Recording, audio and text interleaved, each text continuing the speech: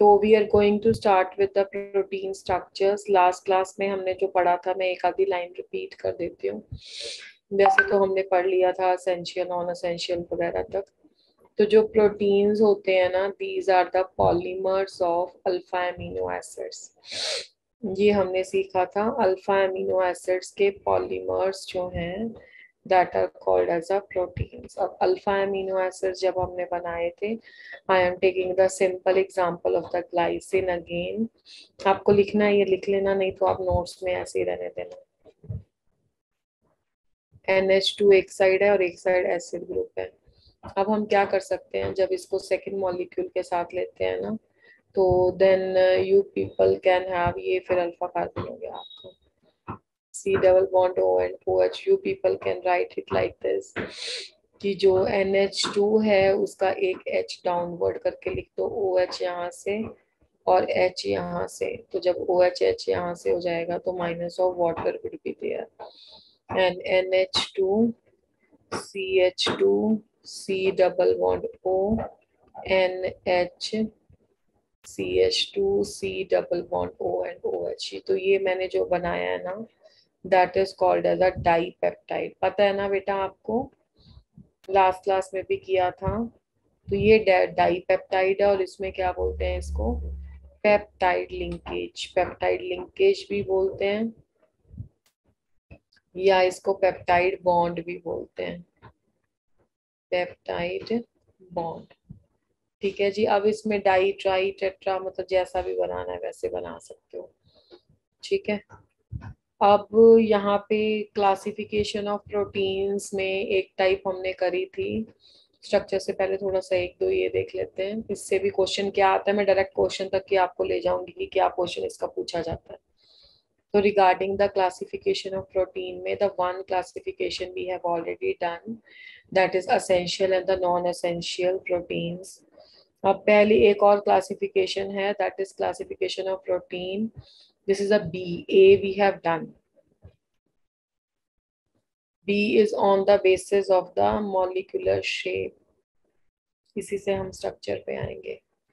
On the basis of the molecular shape molecular shape के base पे the two categories in which we can divide the your uh, proteins the one is called as a fibrous proteins एक को बोलते हैं fibrous protein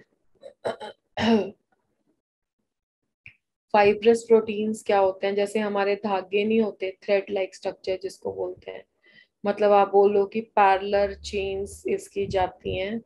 और इसका जो question paper में आया हुआ था ना नीट में वो ये पूछा हुआ था कि कौन सी फोर्सेस इसमें प्रेजेंट हैं? अगर हमारे पास फाइब्रस प्रोटीन्स हैं तो इसमें हाइड्रोजन बॉन्ड्स होते हैं और इसमें डाई सल्फाइड बॉन्ड्स भी होते हैं बीच बीच में मतलब सल्फाइड की लिंकेज होती है बीच में। ठीक है?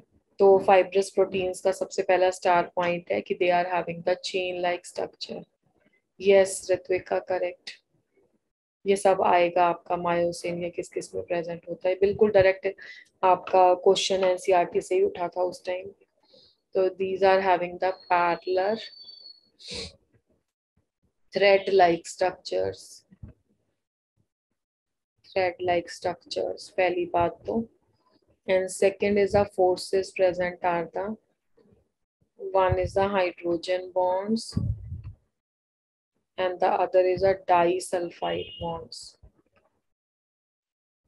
Disulfide bonds. So hydrogen bonds and the disulfide bond. These are the two types of the forces जिस पे आपको टिक करना था ठीक है बाकी एग्जांपल जैसे इसकी बहुत फ़ेमस है कैरेटिन कैरेटिन किसमें प्रेजेंट होता है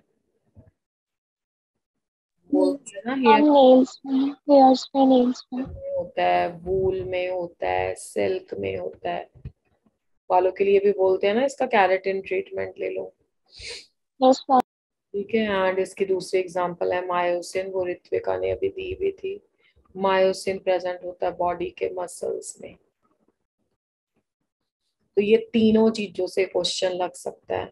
बहुत इंपॉर्टेंट इंफॉर्मेशन और इजी इंफॉर्मेशन सेकेंड टाइप के प्रोटीन है ग्लोबुलर प्रोटीन और जो आपके पास ग्लोबुलर प्रोटीन होते हैं, वैसे तो आपको नाम से ही पता लग गया।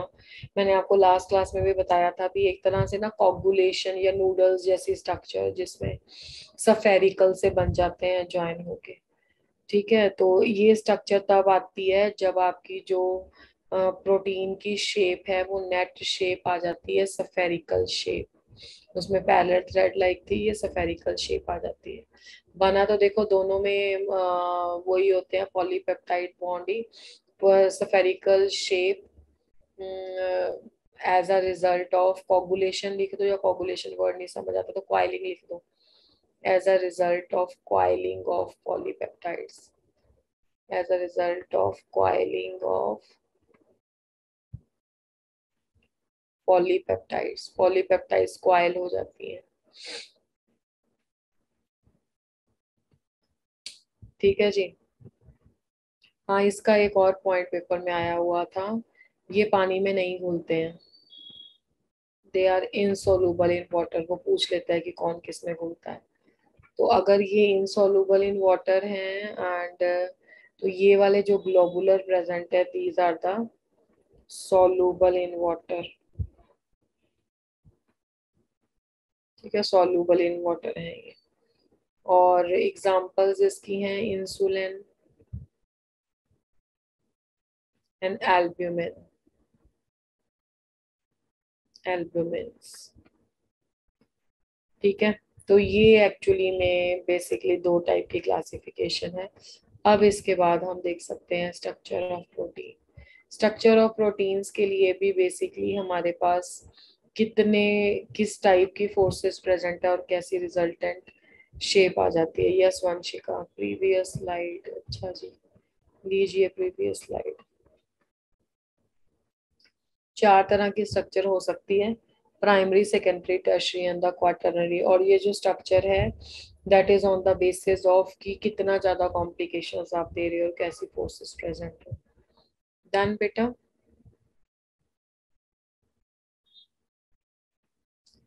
uh, this slide done.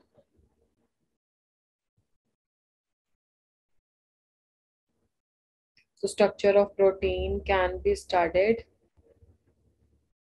can be studied as number one is the primary structure.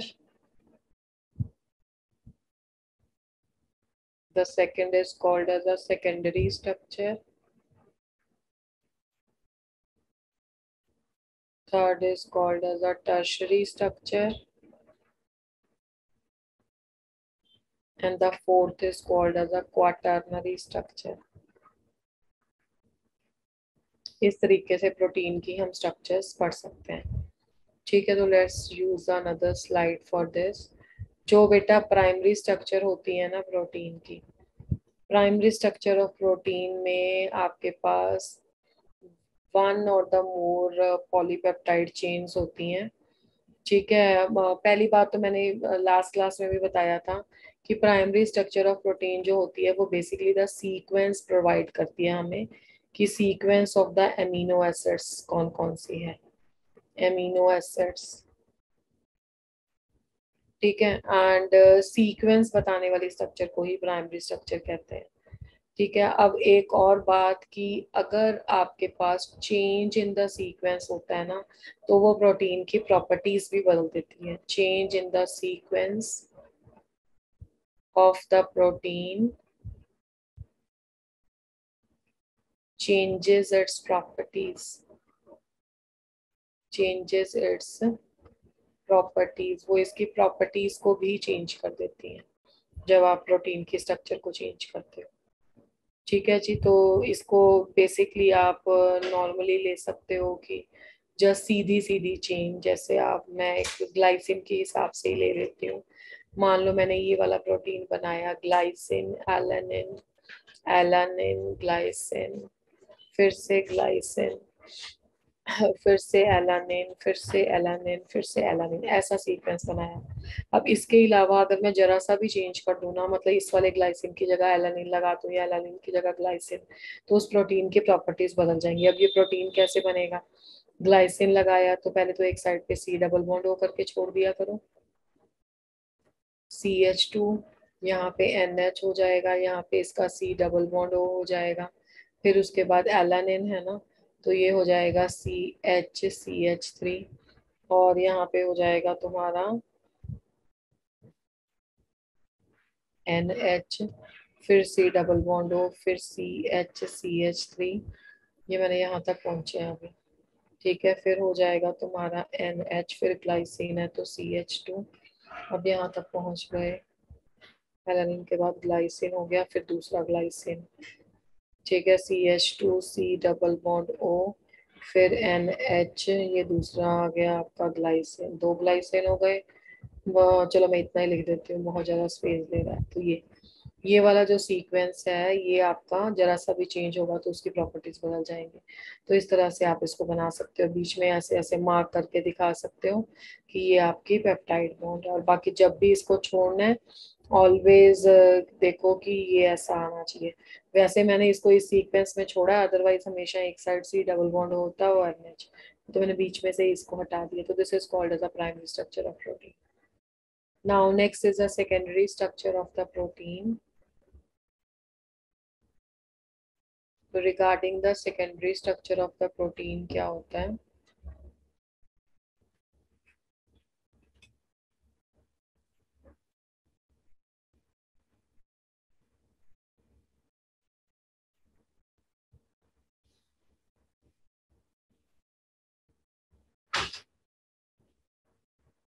Secondary structure of the protein basically बताती है हमें shape in which the long polypeptide chains are joint in which the long polypeptide chains are joint peptide chains are joint जिस sequence में polypeptide chains joint होती हैं, उस shape को sequence uh, बताएगी तो वो प्राइमरी होगी उस शेप के बेस पे सेकेंडरी होगी। और सेकेंडरी को दो तरीके से uh, किया जा सकता है। ठीक है? बाकी इसमें uh, जो आपका फोर्सेस है वो भी बता देते हैं। Hydrogen bond is present between the C double bond हो ये देना करके hydrogen bond is present between the जो जिन दोनों में पेप्टाइड बॉन्ड बनता है C double bond O and the N H units ठीक है? अब जो इसकी शेप्स हैं, उसके बेस पे एक तो आती है alpha helix structure alpha helix structure बिल्कुल वैसे होती है जैसे आपका स्प्रिंग होता है ना, जैसे डीएनए होता है, ठीक है? डीएनए में तो डबल स्ट्रैंड लगा देते तो इसमें तो बस वो स्प्रिंग की जगह थे ऐसे spiral shape alpha helix structure होती है किसकी टाइप और सेकंड होती है beta pleated sheet beta pleated sheet तो these are the two forms in which these two are joint अब अल्फ़ा हेलिक्स स्ट्रक्चर जो होती है, ये इसमें सबसे ज़्यादा हाइड्रोजन बॉन्ड फॉर्म होते हैं और बेसिकली ना ये राइट हैंडेड स्क्रू होता है। Right handed screw handed screw होता है। और इसमें हाइड्रोजन बॉन्ड प्रेजेंट होते हैं। तो let me use a different colour for it तो इसको मैं ऐसे ऐसे ऐसे ऐसे करके बना सकती हूँ। बाकी तो सारी कहानियाँ इसमें वही होती हैं, देखो। पर मैं इसमें ना ग्रुप्स ऐसे लगा दूँगी। जैसे मान लो मैंने एक ग्रुप लगा दिया सी डबल बॉन्ड और यहाँ पे ग्रुप लगा दिया एन एच तो इनके बीच में हो जाएगी हाइड्रोजन बॉन्डिंग तो इस तरीके से आप इसकी हाइड्रोजन बॉन्डिंग शो कर सकते हो। यहाँ पे मैंने लगा दिया एन एच और यहाँ पे मैंने लगा दिया सी डबल बॉन्ड तो इसमें हाइड्रोजन बॉन्डिंग हो जाएगी। यहाँ पे एन एच लगाया हुआ है तो सी डबल बॉन्ड लगा दिया यहाँ पे लगा दिया एन एच तो यहाँ पे हाइड्रोजन बॉन्डिंग हो जाएगी। इस तरीके से यहाँ पे भी कुछ लगा सकते हैं। मैंने छोटा सा बनाया है तो इस तरीके से दिखा दिया। तो यहाँ पे हाइड्रोजन बॉन्डिंग होती है बेसिकली ठीक है? एंड uh, जो आपकी बीटा प्लेटेड शीट है बीटा प्लेटेड शीट में बेसिकली uh, आपके पास एक शीट जैसी स्ट्रक्चर होती है पहले तो वो स्पाइरल नहीं होता। ये शीट लाइक स्ट्रक्चर रिज़ल्ट आता है इसका। ठीक है, और इसमें भी जो बॉन्ड है एक्चुअली में they are intramolecular hydrogen bond only intramolecular hydrogen bonding only ठीक है, और intramolecular hydrogen bonding beta pleated sheet में कैसे होती है? देखो, इसको मतलब आप इस तरीके से ले सकते हो। जैसे तुम ना ऐसा जिगजैग बना दो एक। ठीक है, और मैं इतना बड़ा नहीं बनाऊँगी। मैं बस आइडिया दे दूँगी आपको। दो बना दूँगी मैं। फिर से ऐसा बना दो। और फिर से ऐसा बना दो। अब इसमें रेड कलर से तुम ग्रुप्स लगा दो। तो मैं एक दो पैटर्न कर देती हूँ, बाकी रेपिटेशन ही है। जैसे मान लो मैंने ग्लाइसिन का बनाया, या मैं कोई भी आर लेके बना देती हूँ। आर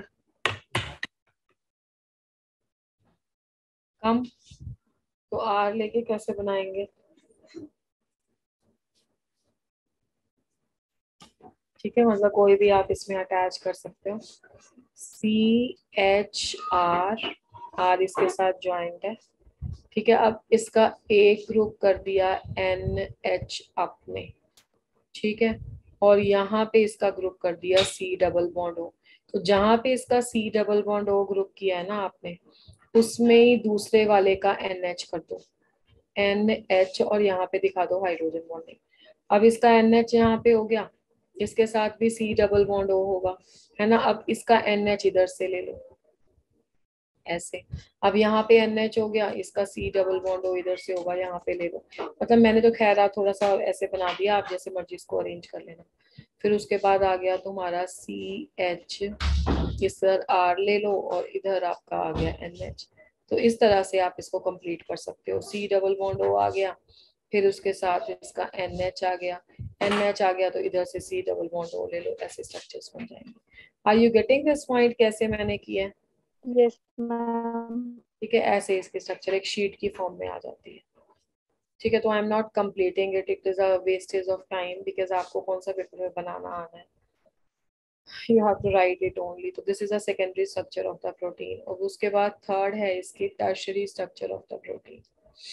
तो जो आपकी tertiary structure of the protein होती है ना, वो बेसिकली ज़्यादा फोल्डिंग होती है। मतलब ये मैं बोलूँगी इसमें ओवरऑल फोल्डिंग होती है इसमें। Overall folding of the polypeptide chain overall folding of the polypeptide chains polypeptide chains की ओवरऑल फोल्डिंग होती है। ठीक है? मतलब जितना किया था उसको भी फोल्ड कर देना। अब इसमें आपके पास दो शेप्स फर्दर निकल के आती हैं, जिसमें एक तो फाइब्रस हो जाता है, एक ग्लो ग्लोबुलर हो जाता है।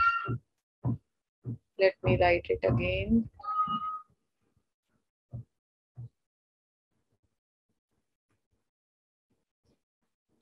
ठीक है? और बाकी इसमें जो लिंकेज प्रेजेंट होती है ना, इसमें काफ़ी सारी लिंकेज दी होती हैं। एंड इसमें लिंकेज है, एक तो हाइड्रोजन बॉन्ड वो सब में आंसर आना ही आना है। एक इसमें डाई सल्फाइड लिंकेज होती है, जैसे कि आपको पहले भी बताया। एक इसमें आ जाती हैं वंडरवॉल फोर्सेस ठीक है? वंडरवॉल फोर्सेस क्योंकि कॉपुलेशन तभी होगी ना, थोड़ी स्ट्रॉन्ग फोर्सेस होगी, तभी ओवरऑल कॉइलिंग होगी। And the electrostatic forces of attraction भी होती है इसमें। इलेक्ट्रोस्टैटिक फोर्सेस ऑफ़ अट्रैक्शन का कारण आपका हो जाता है ज्वीटर आयन स्ट्रक्चर या कोई भी आर ग्रुप ऐसा आ जाए जिसमें एक साइड में प्लस और माइनस आ जाता है। तो ये टाइप की फोर्सेस रिस्पॉन्सिबल है इसके लिए। उसके बाद क्वाटर्नरी स्ट्रक्चर है जो तो आप पहचान ही नहीं पाओगे। जो क्वाटर्नरी स्ट्रक्चर होती है प्रोटीन की, उसमें मतलब ऐसे मान लो कि अभी तक आप एक तरह का पॉलीपेप्टाइड बना रहे थे इसमें पॉलीपेप्टाइड के भी दो तीन टाइप्स हो जाते हैं।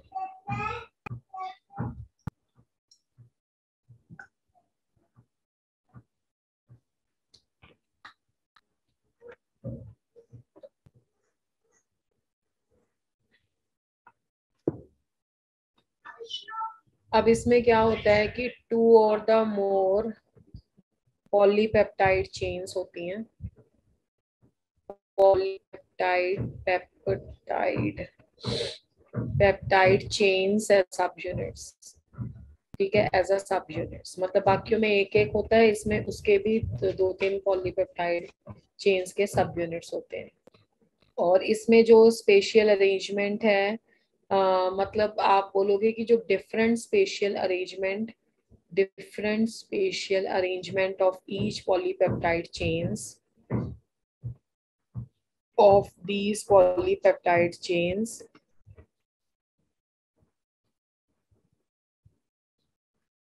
ये जो डिफरेंट अरेंजमेंट है पॉलीपेप्टाइड चेन्स का, इससे आपके पास आती है क्वाटर्नरी स्ट्रक्चर टर्नरी स्ट्रक्चर मतलब that will respond to the quaternary structure of the protein ठीक है, बाकी अगर मुझे इसे ऐसे दिखाना है ना, ये एनसीईआरटी में भी बना के दिखाया हुआ है। अगर आपको समझाना है ना मुझे कि प्राइमरी स्ट्रक्चर क्या होगी? तो मुझे बस डिफरेंट डिफरेंट कलर लेने पड़ेंगे।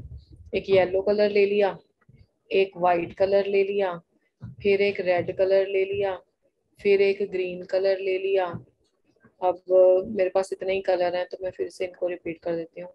येलो कलर ले लिया वाइट कलर ले लिया रेड कलर ले लिया और ग्रीन कलर ले लिया। तो ये जो सीक्वेंसिंग है ना, जो मैंने फॉलो किया तो ये प्राइमरी स्ट्रक्चर है। अब अगर मुझे इसकी सेकेंडरी स्ट्रक्चर दिखानी है तो सेकेंडरी स्ट्रक्चर कैसे दिखाओगे?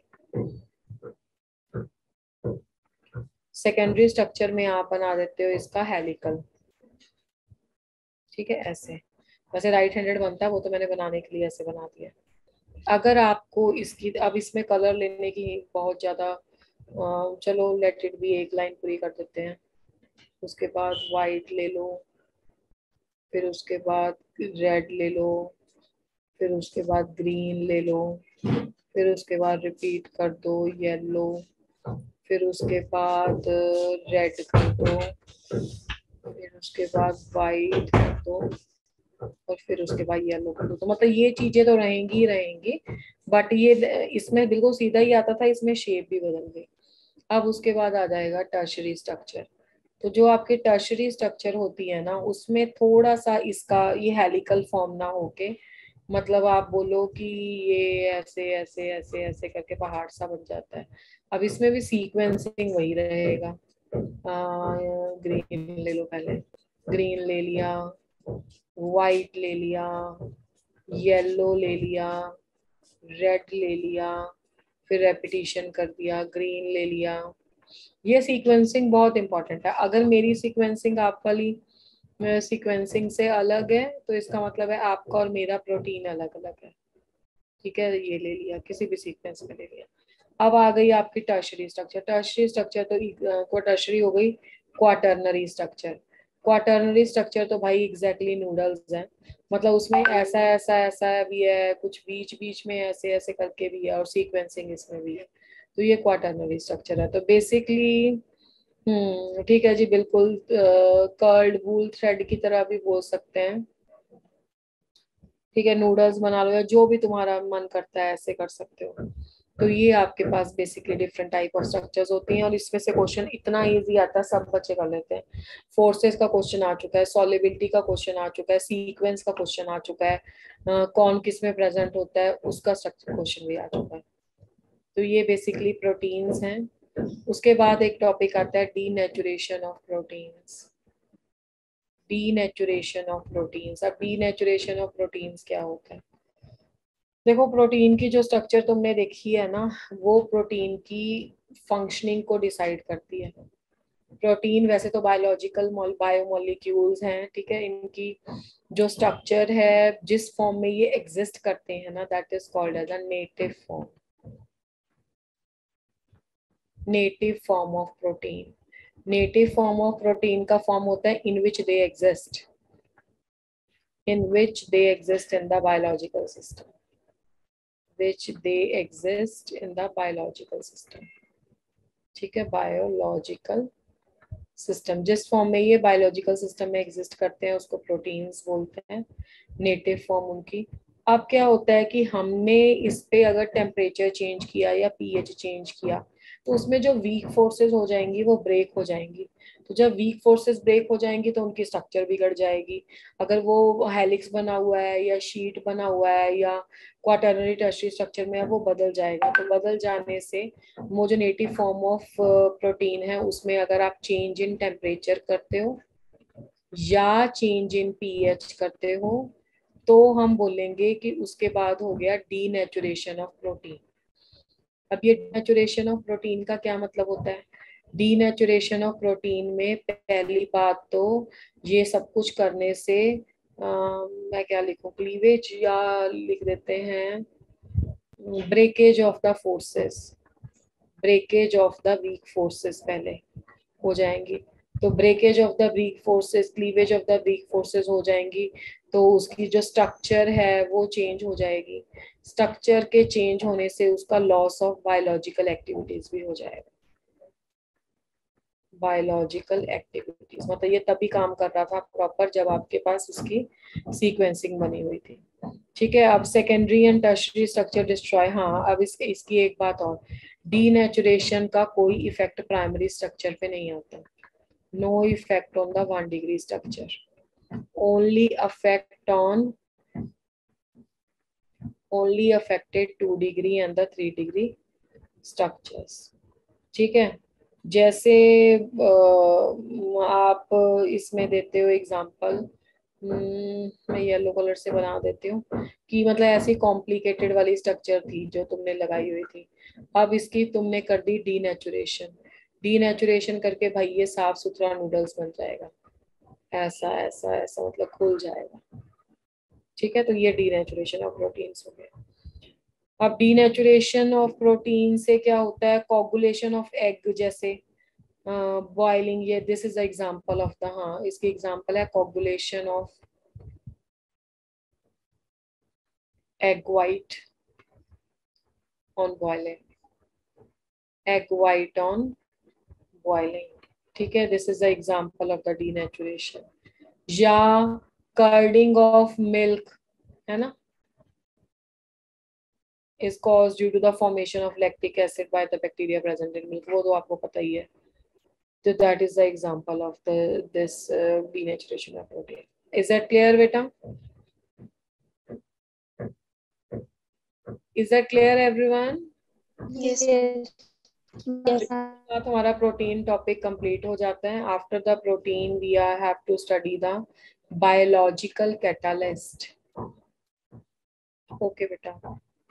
बायोलॉजिकल कैटालिस्ट जो आप, आपके बायोलॉजिकल कैटालिस्ट होते हैं these are termed as enzymes जैसे हम बाहर के रिएक्शंस को फास्ट करने के लिए कैटालिस्ट यूज़ करते हैं, वैसे ही हमारे पास बायोलॉजिकल कैटालिस्ट होते हैं जो बॉडी के रिएक्शंस को फास्ट करते हैं। मेरे ख्याल से सबको पता है कि, है ना जो मेटाबॉलिक एक्टिविटीज़ होती हैं बिगर फ़ूड पार्टिकल्स को स्मॉलर में ब्रेक डाउन करना, या और भी कितने तरह की प्रोसेसेस जो बॉडीज में होती हैं they all are accompanied by the अब इतना सारा तो अंदर टेम्परेचर पीएच सब कुछ मेंटेन नहीं ना रह सकता बॉडी के अंदर तो उन्हें भी इंजाइम की ज़रूरत पड़ती है। ठीक है?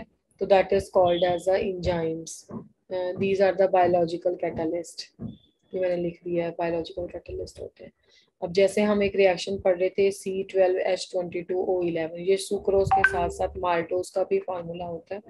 यू नो दिस माल्टोज को अगर आपको ग्लूकोज में तोड़ना है ना तो माल्टेज लगता है। तो माल्टेज लगता है तो सी सिक्स एच ट्वेल्व और ओ सिक्स आता है। ये जो अब नीट का पेपर जिन बच्चों का होना है ना, उनको ये क्वेश्चन आया था पेपर में। जो उनका अभी टेस्ट हो रहे हैं ना फुल लेंथ टेस्ट तो उसमें ये क्वेश्चन आया था कि जो माल्टोज है, उसकी जो हाइड्रोलिसिस है, उससे क्या मिलता है? तो आंसर देना था उनको ग्लूकोज ऑप्शन में ग्लूकोज गैलेक्टोज फ्रक्टोज ये सब कुछ दिया हुआ ठीक है जी, अब जैसे ये अब इसका माल्टेज नाम इसलिए रखा हुआ है क्योंकि ये माल्टोज को करता है इसकी हाइड्रोलिसिस को फास्ट करता है, इसकी ब्रेकडाउन को फास्ट करता है। ठीक है? तो इस तरीके से इनके नाम दिए जाते हैं। अब ये जो आपके इंजाइम्स होते हैं ना they are specific in nature वैसे तो कैटलिस्ट भी होते ही हैं, है ना? They are specific in nature specific in nature का मतलब होता है कि जो आप रिएक्शन कर रहे हो ना, हर एक रिएक्शन का एक स्पेसिफिक इंजाइम होता है। इसको लिखते हैं लॉक एंड की अरेंजमेंट होता है। लॉक एंड की अरेंजमेंट का मतलब होता है जैसे हर एक ताले की अपनी एक अलग चाबी होती है। एक चाबी से आप सारे ताले नहीं खोल सकते हो, हर एक सिंगल की सारे लॉक्स पे ऑपरेट नहीं होती है। तो जैसे लॉक एंड की अरेंजमेंट होता है, वैसे ही every biological reaction have a specific catalyst every biological reaction has the specific catalyst उसका एक स्पेसिफिक कैटलिस्ट होता है। ठीक है? बाकी जो मैकेनिज्म है इसका इंजाइम एक्शन का तो दैट इज़ बेसिकली आपका वही रोल प्ले करता है कैटलिस्ट जैसा, जैसे हम पढ़ते हैं ना कि एक्टिवेशन एनर्जी का कॉन्सेप्ट होता है मतलब रिएक्शन अगर बिना कैटलिस्ट के होगा तो बहुत टाइम लग जाएगा उसको होने में। और यहाँ पे क्या होता है कि यहाँ पे भी मतलब विदाउट इंजाइम अगर रिएक्शन करोगे कई रिएक्शन तो होंगे भी नहीं उसमें से। ठीक है तो दैट इज़ सिंपल मकैनिज्म मेरे ख्याल से आप लोगों ने इसको उसमें भी पढ़ा है। When you have done with the your surface chemistry तो जो आप कैटालिसिस पढ़ते हो ना कैटालिसिस दो टाइप की होती है। ये मैं सिर्फ़ डिस्कस ही करूँगी क्योंकि ये वहाँ पे आ चुका है। एक तो होमोजीनियस कैटालिसिस होती है और एक क्या होती है बेटे? हिट्रोजीनियस कैटालिसिस और जो इसका रिएक्शन होता है ना इंजाइम का, वो हिट्रोजीनियस कैटालिसिस से होता है। इसमें क्या होता है? ई e का मतलब होता है इंजाइम ठीक है? इंजाइम एस का मतलब होता है सबस्ट्रेट सबस्ट्रेट को आप सिंपल लैंग्वेज में रिएक्टेंट भी बोल सकते हो। तो सबसे पहले क्या होता है इंजाइम एंड सबस्ट्रेट आपस में कंबाइन करके इंजाइम सबस्ट्रेट का एक कॉम्प्लेक्स बना लेते हैं। ठीक है, अब इसमें रेट ऑफ़ रिएक्शन अगर के वन है, इसमें के माइनस वन होगा और ये रिएक्शन का स्लो स्टेप होता है। नेक्स्ट स्टेप में क्या होता है एक्टिवेटेड कॉम्प्लेक्स थियरी जो केमिकल काइनेटिक्स की है, वो इसको सपोर्ट करती है। अभी आपने वो नहीं पढ़ा अच्छा आपने सरफेस भी अभी नहीं पढ़ा होगा, है ना? तो ये उसमें आएगा डिटेल में, आप बस थोड़ा सा ही देख लो। अब उसके बाद जो ई e एस बन गया ना, वो आपकी के टू रिएक्शन की स्पीड से प्रोडक्ट में कन्वर्ट हो जाता है प्लस आपका इंजाइम वापस से रीजनरेट हो जाता है। जैसे आप चीनी घोलते हो तो उसके लिए चम्मच का यूज़ करते हो स्पून को थोड़ा ना फ़र्क पड़ता है, वो तो आपका शुगर को डिजोल्व करने के बाद बाहर आप उसको वापस से ले सकते हो। ठीक है ना? बायोलॉजी ऑफ़ क्लास वन ठीक है? वेरी गुड ऋत्विका अगर आपने कर लिया तो। तो ये आपके पास इंजाइम रीजनरेट हो जाता है। ठीक है तो दिस इज़ इसको मतलब अगर कहीं किताबों में देखोगे ना तो ऐसे करके ऐसे करके कुछ बनाया होता है। मतलब अगर ये तुम्हारा सबस्ट्रेट है तो आप खुद देख के चलो ना कि इसमें कौन सी चीज़ फिट आएगी। इसमें वो चीज़ फिट आएगी जिसमें कुछ ऐसा ऐसा होगा। यस और नो तो ये वाली चीज़ आपकी होती है सबस्ट्रेट अच्छा मैं लिख चुकी हूँ उसको, है ना? और ये वाली चीज़ होती है आपकी इंजाइम इसलिए बोलते हैं ये स्पेसिफिक है। ठीक है, और हेट्रोजीनियस कैटालिसिस इसको इसलिए बोलते हैं कि इसके फेस अलग अलग हो सकते हैं। इसका कुछ नहीं पूछा जाता है कार्बोहाइड्रेट्स या प्रोटीन से क्वेश्चन आता है। उसके बाद है वाइटामिन वाइटामिन तो बेटा आप बचपन से पढ़ते हो, आपको आते ही होंगे। वाइटामिन किसको बोलते हैं?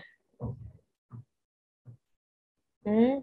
ये ऑर्गेनिक कंपाउंड है, जो तो हम वैसे प्रोटीन को भी हम बाहर से सप्लाई करते हैं। मैंने लास्ट क्लास में भी बताया था कि पर किलोग्राम एक पर्सन को 0.8 ग्राम यानी कि आप एक ग्राम लगा लो, उसकी ज़रूरत होती है। यानी कि जितना आपका होता है वेट उसके अकॉर्डिंग एक दिन में उतने ग्राम प्रोटीन आपको चाहिए होता है। अब आप क्या कर सकते हो, अपनी डाइट में कैलकुलेट कर सकते हो कि कितना प्रोटीन आपने लिया। है आजकल तो वैसे भी इंटरनेट अवेलेबल है या जो भी चीज़ आप खा रहे हो उस पर इंग्रेडिएंट्स प्रेजेंट होते हैं। तो इस चैप्टर को पढ़ने का मतलब ये नहीं है कि इसको पेपर के लिए ही पढ़ना है। अब इस चैप्टर को पढ़ने का मतलब ये भी है, जैसे इसका क्वेश्चन बहुत आता होता है, आर्टिफिशियल स्वीटनर्स क्या होते हैं? आप जैसे एक छोटी सी बात आपको बता देती हूँ।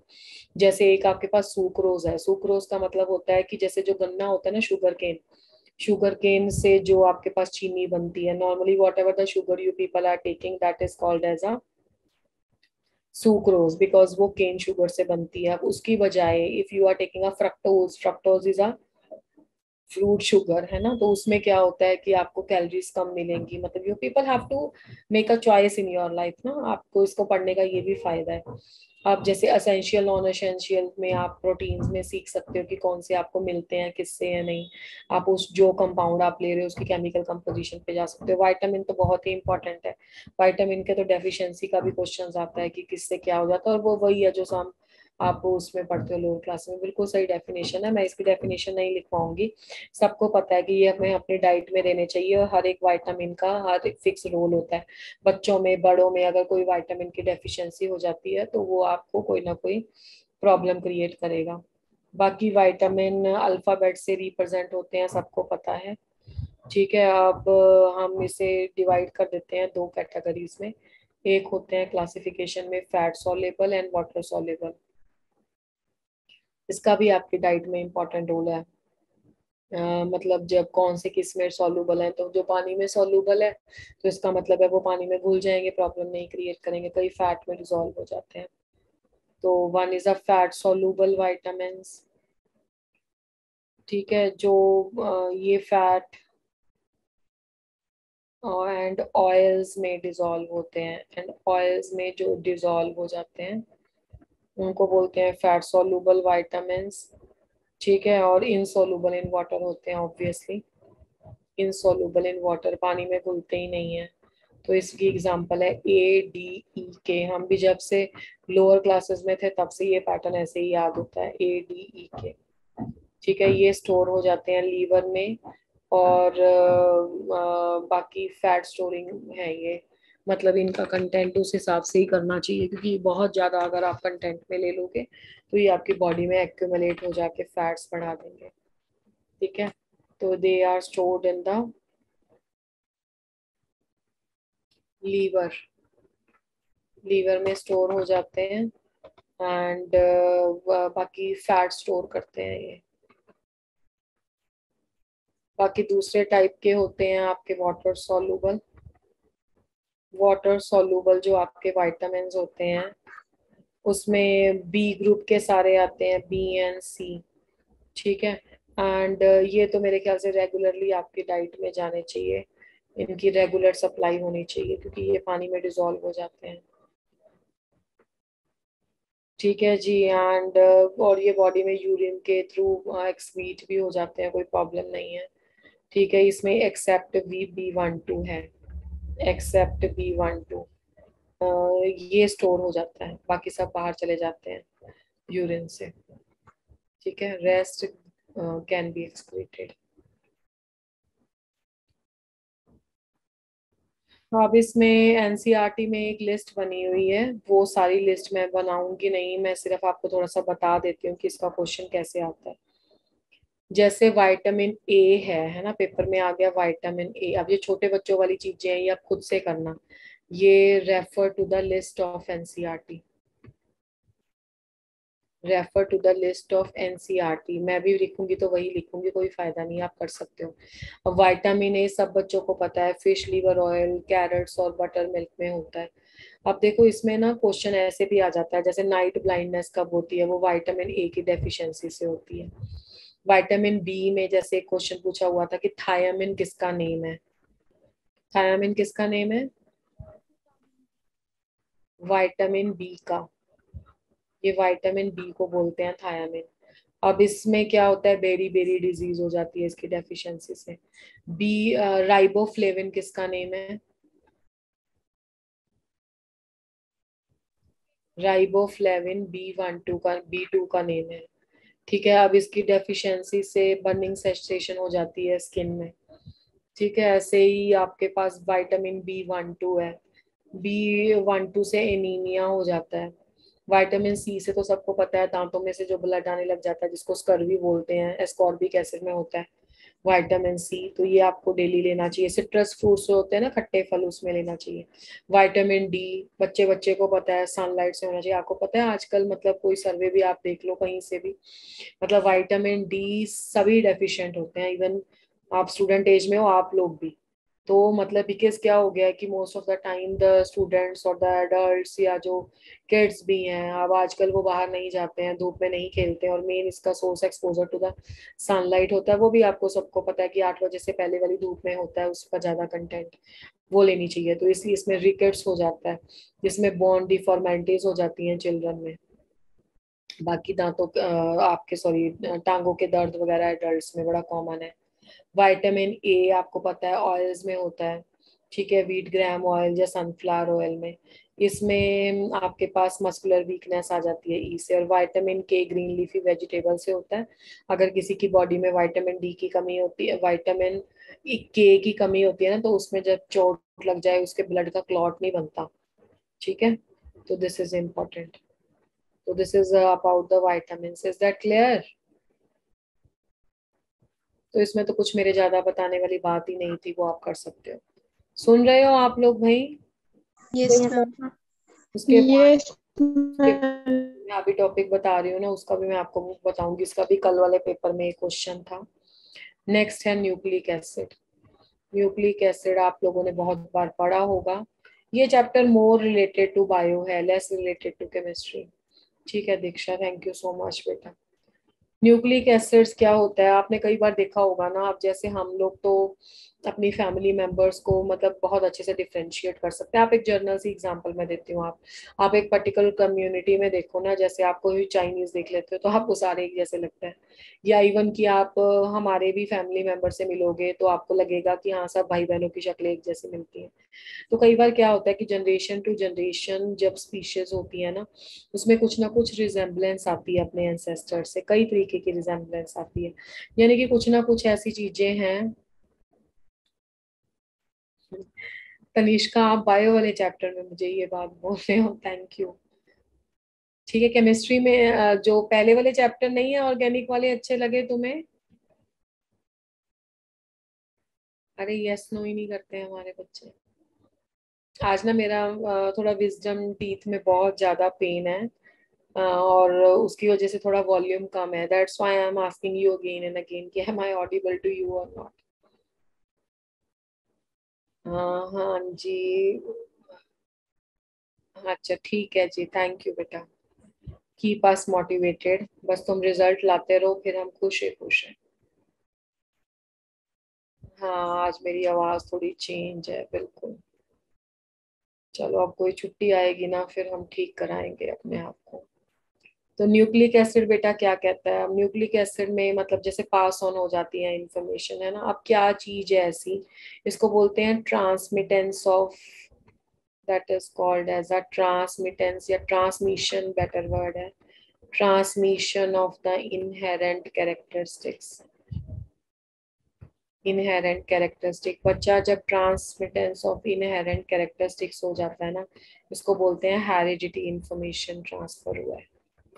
है ना हेरिडिटी ट्रांसफ़र हुई है मतलब बहुत अच्छे से कर देते हैं। हम्म, ठीक है अच्छा गुड बेटा वंशिका अब क्या होता है ना कि आ, मैंने बहुत बार देखा है कि जैसे डॉक्टर्स भी ना पूछते हैं फैमिली हिस्ट्री मतलब वो बोल देते हैं कि हाँ फैमिली में तो डायबिटीज़ तो नहीं है ना किसी को। अगर किसी के जैसे एलोपीशिया होता है आप तो बायो वाले हो हमसे ज़्यादा जानते हो। जैसे sometimes some patches appears generally in the man in the beard और या बालों में कुछ जहाँ से बाल उड़ जाते हैं, होती है ना ऐसी डिजीजेस यस नो रीजन जो होता है एलोपेशिया का दैट इज़ इम्यूनिटी अगर इसको देखा जाए तो अगर सेल्स की ग्रोथ बढ़ा दी जाए बॉडी में, अब कितने सारे सेल्स होते हैं, अगर सेल एक्टिवेट किए जाए तो वो ठीक हो जाता है। दैट इज़ वो थोड़ा बायो परस्पेक्टिव में चला गया, उसे हमें डिस्कस नहीं करना है। आई वॉज़ जस्ट सेइंग कि मतलब कई बार क्या होता है ना कि ये बीमारियाँ भी जनरेशन टू जनरेशन ट्रांसमिशन हो जाता है। वो तो होता ही होता है। अब इसके पीछे क्या चीज़ रिस्पॉन्सिबल है? अब एक्चुअली में क्या होता है ना, जो हमारे पास particles present in the nucleus हैं।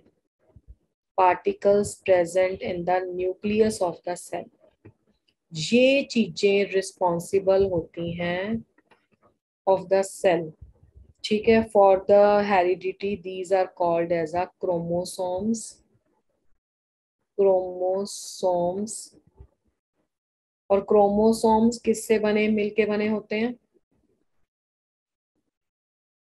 क्रोमोसोम का कंस्टिट्यूएंट क्या होता है? एक तो प्रोटीन और एक होते हैं इसमें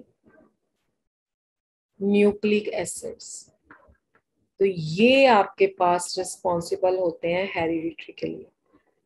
तो बेसिकली जो हमारे पास ट्रांसमिशन ऑफ़ द कैरेक्टरिस्टिक होता है from one generation to other generation उसके लिए जो सेल के बीच में न्यूक्लियस होता है, उसमें तो क्रोमोसोम्स हुआ। अब क्रोमोसोम्स आर कंस्टिट्यूएंट्स जिसके होते हैं प्रोटीन्स एंड न्यूक्लिक एसिड तो बेसिकली न्यूक्लिक एसिड को रिस्पॉन्सिबल माना गया कि that is for the transmission of the characteristics ठीक है, अब होता क्या है? मेनली दो टाइप्स होती हैं। एक तो होता है ये मैं न्यूक्लियो न्यूक्लिक एसिड की बात कर रही हूँ। न्यूक्लिक एसिड में क्या होता है एक तो होता है डीएनए। डीएनए की फुल फॉर्म क्या होती है बेटे? Ribose nucleic acid. Deoxyribose actually sugar है इसकी न्यूक्लिक एसिड। और एक होता है आपका आरएनए। और आरएनए क्या होता है that is called as a ribonucleic acid ribonucleic acid. ठीक है, ये जो आपके पास होते हैं, न्यूक्लिक एसिड्स एक्चुअली में, न्यूक्लिक एसिड्स को बोला जाता है पॉली न्यूक्लियोटाइड्स पॉली न्यूक्लियोटाइड्स मतलब अगर तुम्हें कोई पूछे, ये वाली सीक्वेंस तो नहीं पूछता कि क्रोमोसोम किससे बने होते हैं, ये तो बायोलॉजी का पार्ट है। ये वाली सीक्वेंस पूछी हुई है पेपर में। कि न्यूक्लिक एसिड्स क्या हैं? दीज आर द पॉलीन्यूक्लियोटाइड्स या दी इसमें मोनोमर क्या यूनिट होता है? Monomer unit is a nucleotide ठीक है? जैसे पॉलीमर का प्रोटीन का प्रोटीन्स का पॉल होता है alpha amino acids and similarly polynucleotide का मोनोमर होता है। न्यूक्लिक एसिड का मोनोमर होता है न्यूक्लियोटाइड uh, ठीक है? अब इसका जो क्वेश्चन पेपर में आया हुआ है ना, हमें थोड़ा सा देखना है कि न्यूक्लिक एसिड के केमिकल कंपोजिशन क्या है। ठीक है, अब ये जो नाम है ना बेटे D DNA and RNA that is on the basis of the sugars ठीक है तो जो आपके पास डी ऑक्सी न्यूक्लिक एसिड है, उसमें शुगर प्रेजेंट होती है डी ऑक्सी राइबोस तो ये जो डी ऑक्सी राइबोस शुगर है, मैं इसका फॉर्मूला भी आपको बना देती हूँ। पहले तो इसकी आप फाइव मेंबर रिंग बना लो और यहाँ पे ओ एच एच जैसे हमने ग्लूकोज की स्ट्रक्चर बनाई थी ना एच एच यहाँ पे होता है राइबोस में। तो H O H and C H two O H and H ठीक है, अब ये जो डी ऑक्सी राइबोस शुगर है अब आपके पास आ गया राइबोज शुगर दूसरा। Ribose sugar. राइबोज शुगर, इसमें क्या फ़र्क होता है? डीऑक्सी का मतलब है कि इसमें से एक ऑक्सीजन रिमूव कर दिया है। बस ये जो मैं इसको नंबर लगा दूँ, वन और टू नंबर।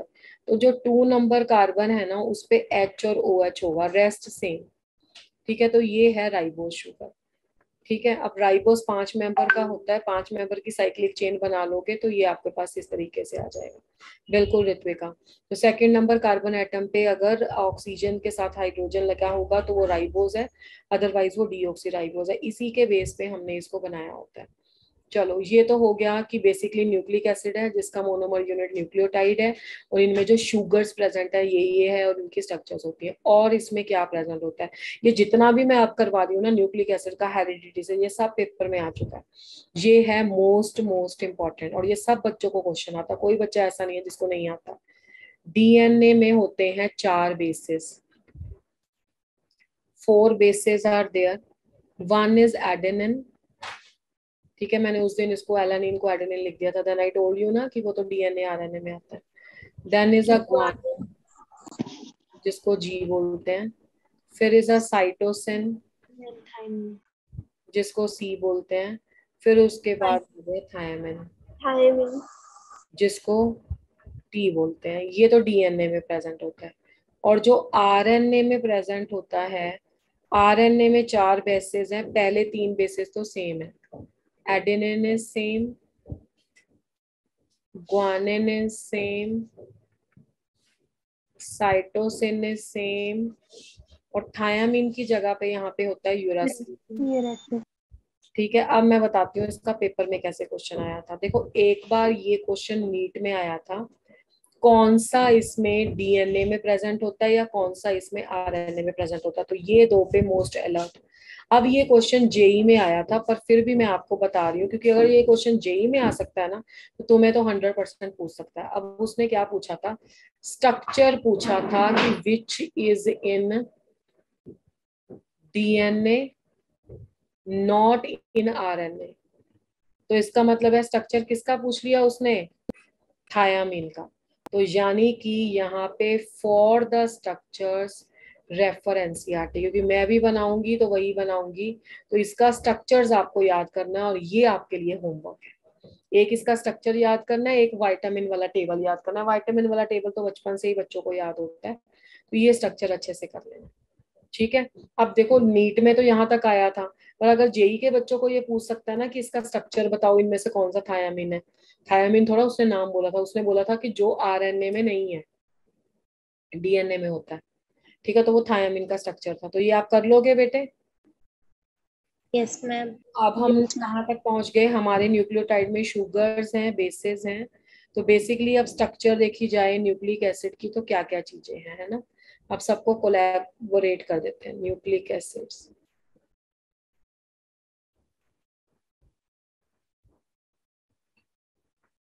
तो स्ट्रक्चर ऑफ़ न्यूक्लिक एसिड में बेसिकली एक तो हो गया हमारे पास शुगर एक हो गया हमारे पास बेस और एक हमारे पास होता है फॉस्फोरिक एसिड ठीक है ये तीन चीज़ें प्रेजेंट होती हैं।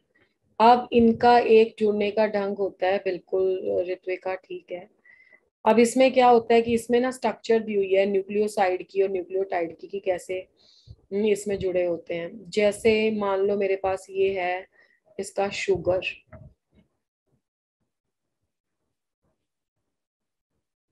यहाँ पे बेस लगा होगा। ये एच ये कार्बन नंबर वन है। एच और ओ एच बाकी तो तुम्हें समझ में आ गया होगा कि अगर ओ एच है तो ये किसकी बात हो रही है? आर एन ए की। तो ये तीन नंबर कार्बन हो गया। एच और ओ एच ये आपका चार नंबर कार्बन हो गया जिसपे C H two O H जुड़ा होगा और एच जुड़ा होगा। तो ये पाँच नंबर कार्बन है। तो पाँच नंबर कार्बन इधर से हो गया, ठीक है? अब इसके साथ जुड़ा होता है फॉस्फेट ग्रुप तो पी डबल बॉन्ड ओ बाकी फॉस्फेट पे ये नेगेटिव चार्जेस होते हैं और एक नेगेटिव इसके साथ क्लब कर गया। इसमें सी एच टू ओ और एच इसमें से वाटर का लॉस हो गया। बस बाकी आपको इसके साथ वैसे ही ग्रुप लगाने हैं जैसे हम पहले लगा के आए हैं। ऐसे। तो ये यहाँ पे बेस हो गया। ये यहाँ पे एच हो गया, ये एच हो गया, ये ओ एच हो गया H O H C H two H तो ये वहीं पे आ गया आपका एक, दो, तीन, एंड चार, कई पाँच, ये हो गया, डैश भी लिखा होता है। तो ये वाला हो गया तुम्हारा न्यूक्लियोसाइड। ठीक है, और ये हो गया तुम्हारा न्यूक्लियोटाइड। ठीक है, और जो न्यूक्लियोटाइड्स हैं, वो फॉस्फेट लिंकेज के साथ जुड़े होते हैं पाँच और तीन नंबर से।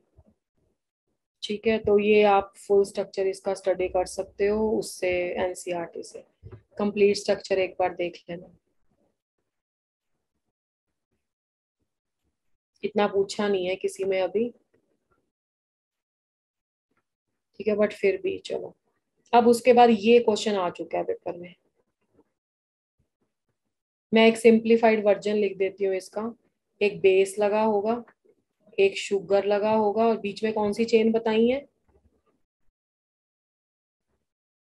फॉस्फेट फिर से शुगर फिर से बेस और फिर से फॉस्फेट और ये चीज़ आपकी एंड टाइम रिपीट होगी फिर से सेम और ये क्या है? ये न्यूक्लिक एसिड है। और इसी से इंफॉर्मेशन पास ऑन होती है। ठीक है अब sequence of nucleotide in the chain यहाँ पे जो सीक्वेंस बताएगा उसको बोलेंगे कि ये प्राइमरी स्ट्रक्चर है उसकी जैसे कि प्रोटीन में करते थे। ठीक है? हाँ, लीजिए प्रीवियस स्लाइड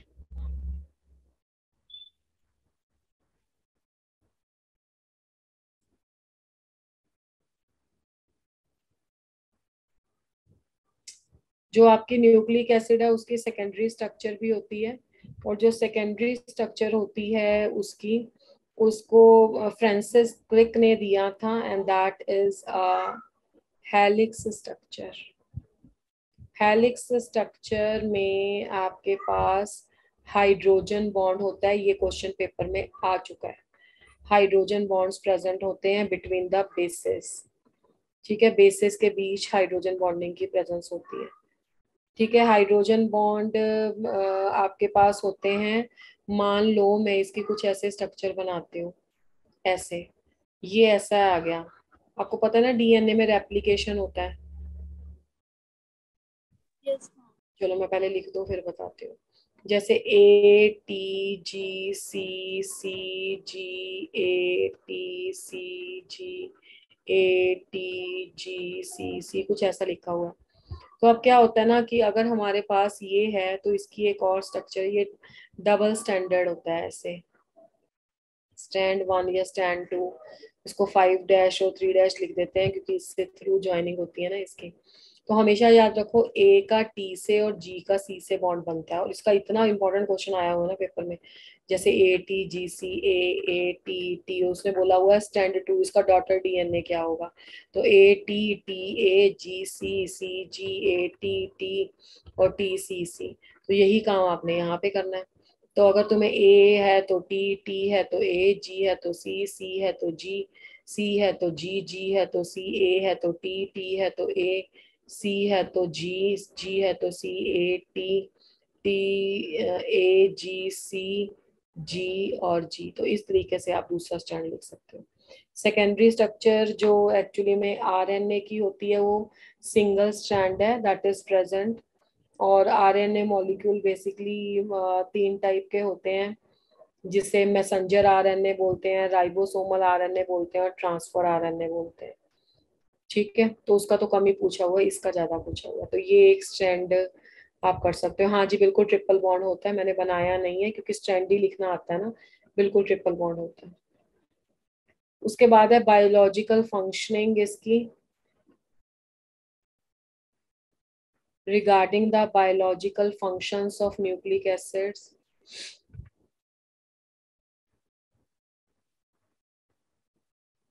पहली बात तो ये करता है जेनेटिक इंफॉर्मेशन का रिज़र्व है ये। ये करता है रिज़र्व ऑफ़ जेनेटिक इंफॉर्मेशन आपको पता है ना डीएनए टेस्ट होते हैं। सो गए क्या?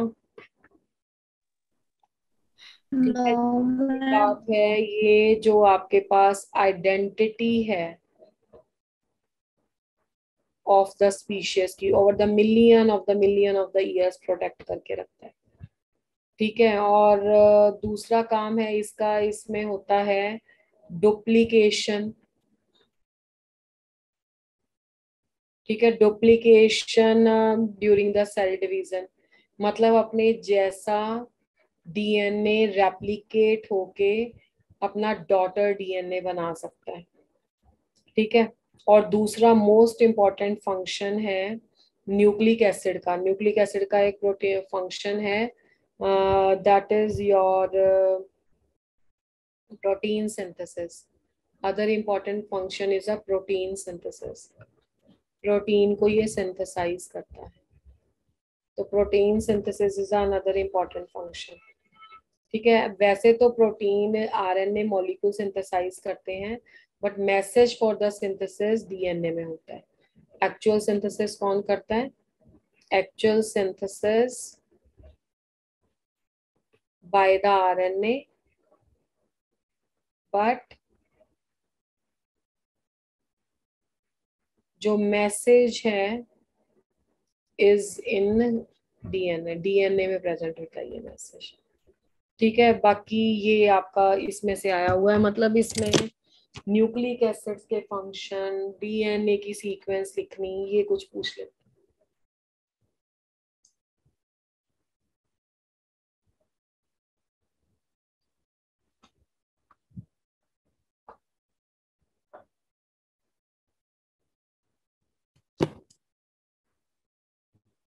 उसके बाद है आपके पास हॉर्मोन्स हॉर्मोन्स भी इंटरसेलुलर मैसेंजर्स होते हैं एंडोक्राइन ग्लैंड्स होता है बॉडी में, जिससे ये प्रोड्यूस होते हैं। You can also call them as a intercellular messengers ये तो आपने बायो में चीज़ें पढ़ रखी होंगी सारी। ठीक है, और दूसरी बात है कि ये produce by the endocrine gland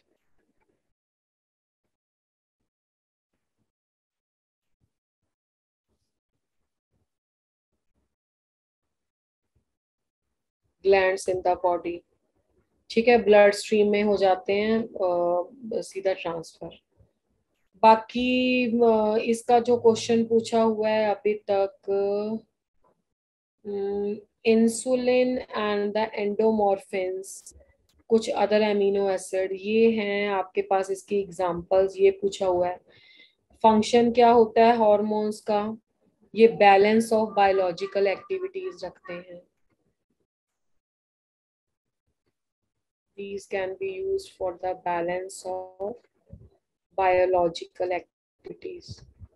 तो बायोलॉजिकल एक्टिविटीज़ का बैलेंस आउट होता है इसमें ठीक है जी? बाकी रोल ऑफ़ इंसुलिन क्या है? ब्लड ग्लूकोज लेवल को मेंटेन रखता है। इंसुलिन का जो फ़ंक्शन होता है that maintain the blood glucose level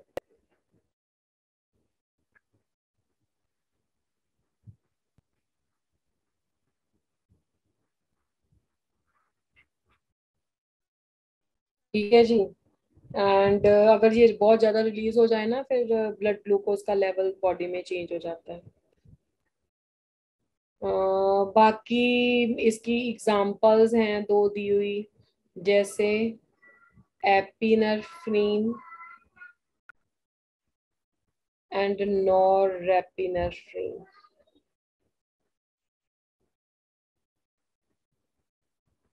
ये बेसिकली रिस्पॉन्स करते हैं एक्सटर्नल स्टिमुलाई को इसको मेंटेन करने के लिए। Growth hormone and sex hormones role play करते हैं डेवलपमेंट के लिए। बाकी को स्टीरियोइड्स की एग्जांपल्स हैं, इसमें दी हुई इसको आप पढ़ सकते हो। That is for the you can say in order to have the you can say जैसे फर्टिलाइज्ड एग वगैरह के लिए या बाकी आपको पता ही है हॉर्मोन्स के रोल एंड ऑल तो this is completely biological part chemistry में इसका अभी तक कुछ बहुत ज़्यादा नहीं पूछा हुआ है। ठीक है तो in order to give a birth to the you can say similar organisms तो उसमें इनका इम्पोर्टेंट रोल होता है। तो ये अभी तक तो बहुत खास इसका नहीं पूछा है। जो ज़्यादा क्वेश्चन पूछा हुआ है, वो न्यूक्लिक एसिड का, और उसमें भी बहुत सिंपल सिंपल ये सीक्वेंस का क्वेश्चन पूछा हुआ है। या ये भी पूछा हुआ था कि किस किसमें क्या क्या प्रेजेंट होता है न्यूक्लियोसाइड और न्यूक्लियोटाइड में क्या फ़र्क है? या ये पूछा हुआ था किसमें क्या शुगर है या नहीं? बस केमिस्ट्री इतना सा टच करते हैं। तो this is all about your chapter इसमें इतना ही है। And this was only chapter जो थोड़ा सा केमिस्ट्री में बायोलॉजी के साथ लिंक्ड है।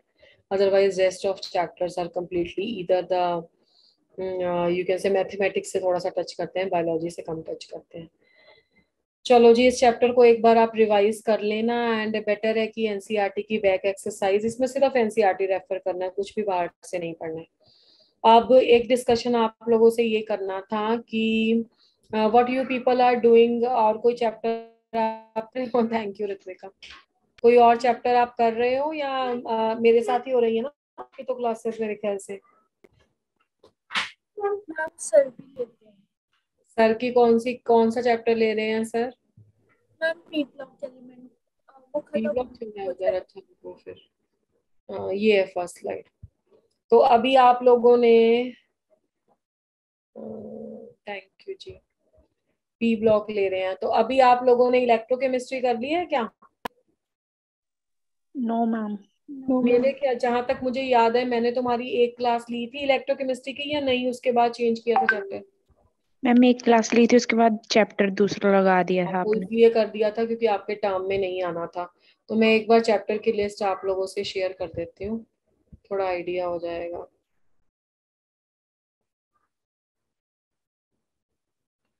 आप लोगों ने सॉलिड स्टेट कर लिया yes ma'am yes ma'am okay आप लोगों ने सॉल्यूशन कर लिए? यस मैम यस मैम अच्छा आप लोगों ने halo alkane and hello arene कर लिया? यस मैम यस मैम आप लोगों ने अल्कोहल फिनोल ईथर कर लिया? यस मैम मैम अच्छा आप लोगों ने आ, क्या किया होगा तुमने? बायोमोलिक्यूल भी हो गया। यस मैम यस मैम ठीक है आप लोगों ने पी ब्लॉक कर लिया पूरा? यस मैम मैम चलो एक आधे क्लास में सर करा देंगे पूरा। और इसके अलावा आपने कौन सा चैप्टर किया? मैम अभी नहीं कौन सा? मैम इतने किए हैं अभी। Yes ma'am group eight sir वो सर ने अगर स्टार्ट करवाया है कंप्लीट है जो। हाँ बस तो ग्रुप एटीन में क्या बचता है? कुछ भी नहीं होता उसमें। तो आप मेरे ख्याल से इसके बाद आपके टर्म वन वाला क्या पोस्ट अब तो टर्म का कुछ कह ही नहीं सकते। आपको अभी स्कूल में जब जाओगे क्या क्या आना है? बताना एक बार इसके अलावा। ये तो मुझे पता पॉलीमर्स पॉलीमर्स पॉलीमर्स आना है। और मेटलर्जी मेटलर्जी यस मैम और बस? यस मैम अच्छा तो पी ब्लॉक को बाद सर से पॉलीमर बोल देंगे करवाने के लिए है ना? यस मैम तो yes, मैं आप एक और बचता है। बोलो। बोलो क्या कह रहे हो बेटे? मैम चैप्टर नंबर सिक्स भी बचता कौन सा? Ma'am general principles and processes of isolation आप नाम बोलो चैप्टर का मुझे सुनाई नहीं दे रहा है। आइसोलेशन वाला?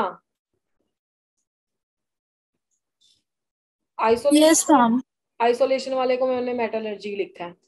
तो पॉलीमर्स अगर सर स्टार्ट करवाते हैं तो मैं आपको स्टार्ट करवाऊँगी इलेक्ट्रोकेमिस्ट्री इलेक्ट्रोकेमिस्ट्री ना हद से ज़्यादा इंपॉर्टेंट चैप्टर है। मतलब नीट के लिए भी और स्टेट या सीबीएसई के लिए भी। तो पहले सर पॉलीमर करा देंगे उसके बाद बीच में किसी दिन मेटलर्जी करा लेंगे हम लोग। तो इज़ इट ओके ना? क्योंकि मैंने जेई में भी यही स्टार्ट किया। जेई में तो उन्होंने बायोमोलिक्यूल भी नहीं किया। मैंने सीधा इलेक्ट्रो ही स्टार्ट किया बिकॉज़ इट इज़ बेटर की इलेक्ट्रो उनका बायोमोलिक्यूल uh, मैंने कहा सर करा देंगे। तो इलेक्ट्रोकेमिस्ट्री में आपके साथ स्टार्ट करूँगी नेक्स्ट क्लास से। और पॉलीमर सर स्टार्ट कर देंगे। फिर ये मेटलर्जी वाला तो बीच में कभी ले लेंगे। कोई भी ले लेगा हम दोनों में से। ठीक है तो इसमें आपका ये वाला क्वेश्चन तो हम आपको स्कूल में प्रिपेयर करा के भेजेंगे ये वाला सारा। इज़ इट ओके बेटा? यस मैम यस चलो अब इसको आप साथ साथ कर लेना। हाँ एक बात तुम लोगों ने और मुझे बतानी है वैसे तो मुझे इन्फॉर्मेशन आ ही जाएगी। मैं ये कह रही हूँ कि आप लोगों को ना इस बात का ध्यान रखना है कि जब आपका कोई टेस्ट हो और वो चैप्टर मैंने पढ़ाया है तो आप मुझे इन्फॉर्म करोगे क्लास में भी वैसे तो मुझे पता लग जाएगा तो वो चैप्टर का डिस्कशन टेस्ट का हम ज़रूर करेंगे। This is the only way out to check our knowledge कि हमें आता है या नहीं आता है। इज़ दैट क्लियर चलो ओके बेटा this is all for today and next chapter आपका होगा इसका इलेक्ट्रो का। Thank you ji thank you for the lovely comments thank you बेटा thank you so much God bless you all ध्यान रखो अपना और अच्छे thank you ma'am thank you ma'am thank you बेटा bye bye take care thank you ma'am thank you all bye ma'am bye bye good night